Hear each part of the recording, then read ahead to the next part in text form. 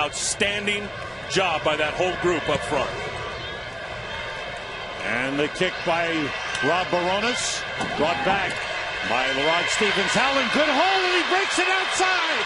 And LaRod Stephens, Howling going all the way. Touchdown, Arizona.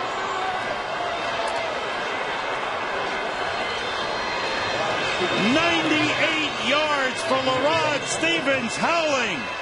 The first kickoff return for a touchdown in his career. And what a response by the Arizona Cardinals. Now watch the two-man wedge form, and he's just going to get right up behind it. He just gets right in behind those guys. What a great job of cutting off the block right there of Kenny Iwebema, uh, Kenny Iwebema, and that's just terrific by LaRod Stephens Howling and his vision.